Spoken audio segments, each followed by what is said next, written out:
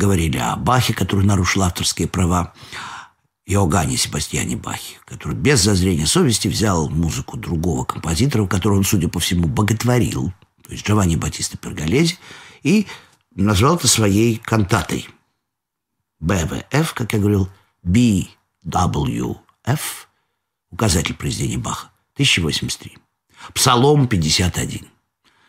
Нужно просить Всевышнего замаливать грехи. Самые страшные грешники должны, слушая этот псалом и эту музыку, замаливать грехи. И Бах не стал писать своей собственной музыки. Он взял музыку Перголези, другого композитора из другой страны, из Италии, и взял ее, добавил туда голосов, потому что он Бах он же океан, как сказал Бетховен. А в океане не всегда достаточно количество воды, если это не океан, если это ручей. А Бетховен сказал, das ist kein Bach, das ist Ozean. Есть это не ручей. Der Bach, на всякий случай, напомню, ручей по-немецки. И правильно сказал, и правильно Бах сделал. Он взял музыку Перголези, добавил в этот океан еще несколько морей воды, и в результате появилась сверхъестественная кантата, но в основе-то все равно лежит гениальная музыка Джованни Батиста Перголези. И я в прошлой программе говорил о том, что мы неожиданно делаем колоссальный скачок назад во времени, хотя мы уже пришли в 20 век. И это не случайно. я еще и в этой программе, может быть, вам не скажу, в чем дело, а почему такой скачок. А, потому что я очень хочу попросить извинения у Джованни Батиста Перголези за то, что он бессмертный, грандиозный, один из лучших композиторов, мелодистов, один из чувствующих чувства, обладающих чувством юмора, сценичности. Вот смотрите – Джованни Батиста Перголези умер в 26 лет. Пять серьезных больших опер. Интермеццо между операми в виде комических опер, оперы «Буф». Из-за него война буфонов, то есть сторонников того, что в оперном театре в конце концов можно не только плакать, но и смеяться. А если вы послушаете оперу «Служанка госпожа», а мы сейчас вам покажем только фрагменты этой оперы, то вы, по крайней мере, улыбнетесь. Потому что это и сегодня смешно, весело, остроумно. А когда-нибудь э, пытливые, дотошные владельцы интернета и знатоки интернета обязательно найдут несколько потрясающих сценических вариантов этой постановки, потому что многие потрясающие кинорежиссеры не могли пройти мимо этого. Что они вытворяют, вы просто посмотрите. Потратьте на это пару вечеров, и вам покажется, что вообще весь мир остроумный, веселый, радостный, гармоничный. Уж больно красиво, уж больно музыкально, уж больно талантливые актеры, уж больно талантливые режиссеры-постановщики и операторы, это было сделано в разные времена. Я не буду сейчас перечислять, сами увидите. Черно-белые, цветные, суперсовременные, с добавлениями мимов и так далее. Это вы все сделаете. Итак, служанка госпожа. Значит, все начинается с того, что Серпина, служанка, не приготовила Уберта господину с утра. Это вообще-то страшное преступление, страшнее ничего нельзя было сделать. Не приготовила шоколад. Утреннейшее, понимаете, вот у Берта просыпается господин, а Серпина не приходит. И мало того, что не приходит, не приносит шоколад. У Берта по этому поводу разражается совершенно колоссальной арией. Ну, то есть мир кончился, все перевернулось, жизнь закончилась, понимаете? Причем послушайте, что вытворяет Перголези. Он делал такие скачки. Бам-бом, бам-бом. И, и вот этот вот самый Уберта, он то ли бас, то ли тенор, то ли бритон. Он вообще не понимает, кто он, потому что он не выпил шоколада. И у него что-то такое творится с голосом. Вообще он потерял веру в людей. И более того, вот послушайте сейчас эту арию, потом посмотрим, что там дальше. sempre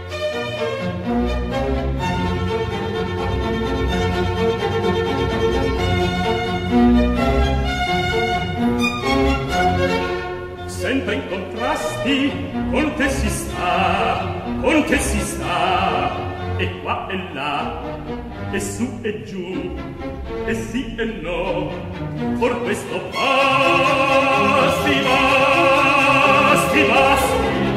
Finir si può finir si può finir si può. Ma che ti pare ah? Ma che ti pare ah? Voglio crepare signor mio no. Voglio crepare signor mio no. Sei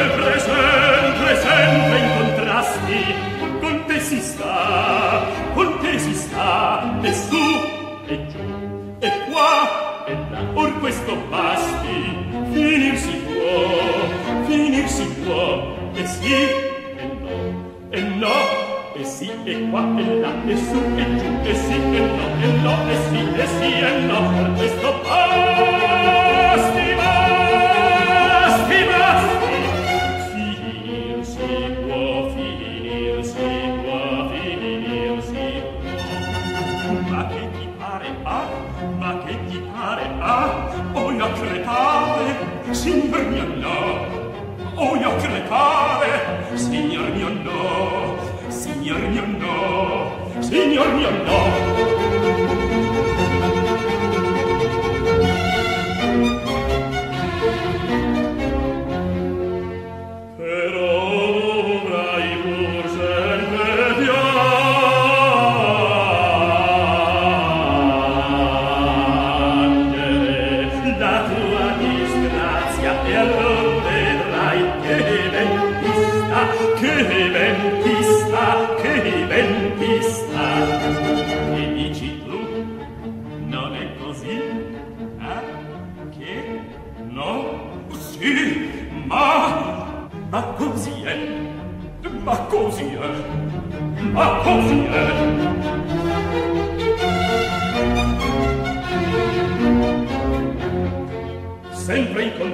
contrasti, con te si sta, con te si sta, e qua e là, e su e giù, e sì e no, per questo basti, basti, basti.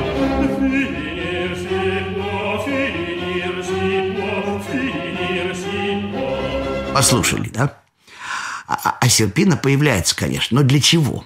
Для того, чтобы сначала поучаствовать в перепалке, потому что когда Уберта говорит «Я без шоколада», Серпина говорит, ну и что, а разве нельзя прожить без шоколада? Ну это резонно, правда? Хотя не забывайте, что это служанка. Пока. Пока. И она увещевает Уберта и поет ему очень милую арию, вот такую чисто женскую, неожиданно такое ламенто, жалоба. Ну, ну, разжалобить сердце хозяина, господина, да? Вот послушайте для контраста сейчас Серпину. Какая Серпинушка. Sempre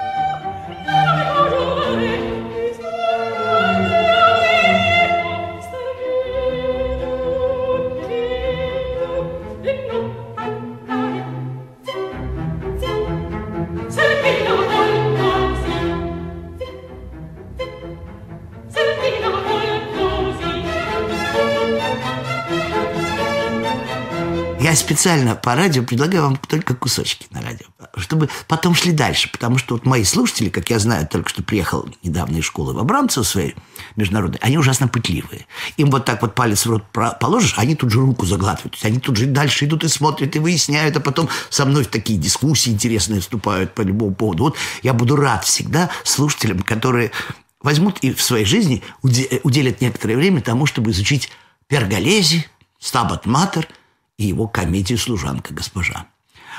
Я, помните, в прошлой программе сказал, что имя Джованни Батиста Перголези вызывает три чувства. Улыбку, удивление и печаль. Про улыбку я сказал – про печаль тоже сказал. Ну, не годится таким гением жить 26 лет и умереть в самом рассвете, еще умереть от любви, неразделенной, потому что, видите ли, она, прекрасная девочка, умерла и похожа на Мадонну. Вот опять какая трагедия.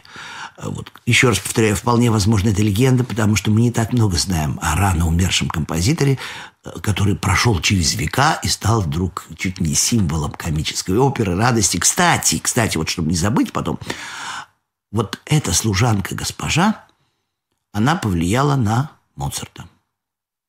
Она повлияла на Доницетти, да на всю оперу. Во всех операх э, у Россини тоже. И «Женитьба Фигара Моцарта», и «Сивильский цирюльник Россини», и Дон Паскуале Доницетти все об одном и том же. Милая простая девочка из народа облапошивает старенького господина. Правда, вообще итальянцы, когда ставят служанку госпожу, они не делают этого господина таким уж старым, совершенно не обязательно, но он, по крайней мере, намного старше. Я так думаю, что если служанке так лет 16, итальянке, да, а господин Уберто уже старый, ему, наверное, лет 28, а то и все 30. Э, знаете, в чем дело? Ну, представление о возрасте ужасно меняется. Я хочу обрадовать всех, кому сейчас 60. Вам 40. Тем, кому 80, вам 60. Вот тем, кому 100, можно сказать, уже старый. Почему? Потому что примерно продолжительность жизни в цивилизованных странах увеличилась на 20 лет за последние буквально 40-50 лет. Поэтому, учитывая это, нужно точно знать, сколько вам лет. Убирайте 20 смело. Все нормальные люди, ну, которые слушают, естественно, великую музыку, потому что попсовики, они быстро состарятся, у них э, кости хрустят, э, сердце бьется так слишком часто. Э, ну, извините, шучу у каждого человека есть воля э, выбирать в этой жизни, что ему больше близко, и более, более близко, и ближе, лучше сказать, да, ближе, и, и нравится.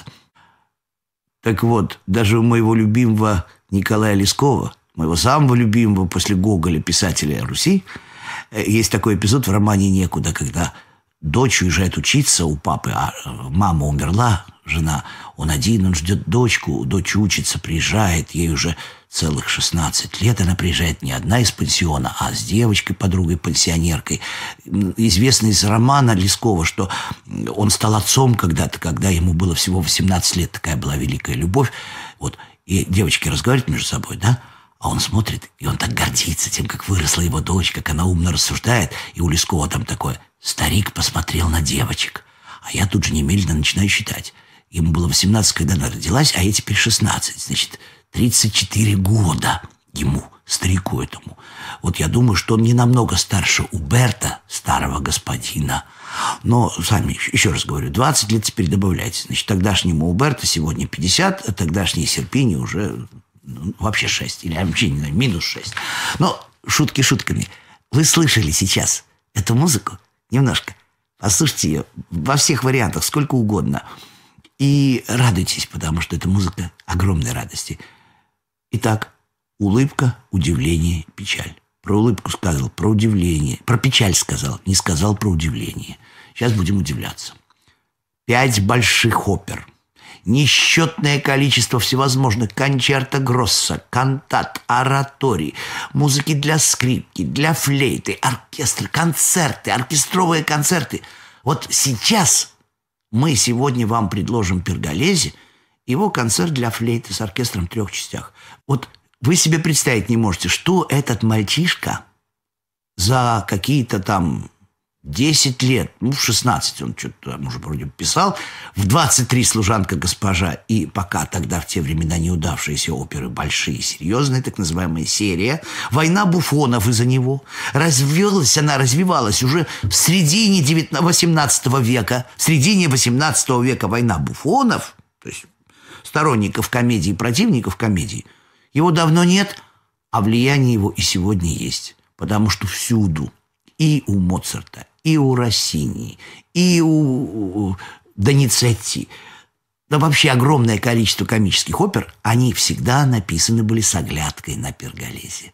И даже сюжет далеко не закручивали в сторону, а именно такая история. Повторяю, старик и молодая служанка, которая будет его вокруг пальца.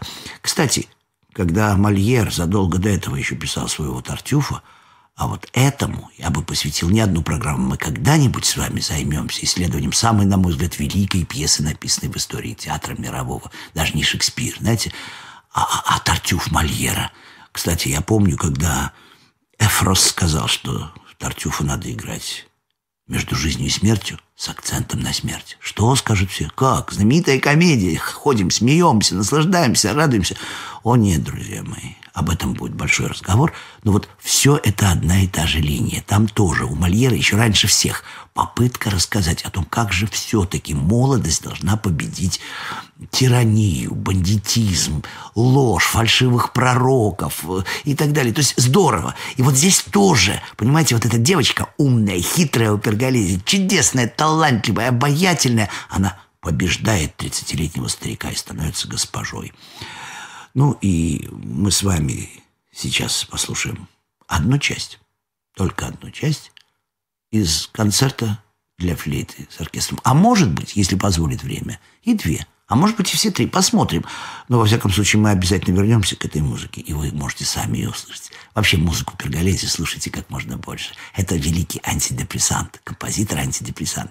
У него столько мелодизма, столько смеха, радости, улыбки, прелести, итальянской скороговорки, чудных итальянских ламенто, жалоб, красивых таких сценических жалоб. Слушайте. Слушайте.